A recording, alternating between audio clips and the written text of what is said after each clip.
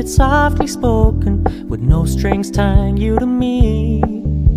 I'm happy in your company.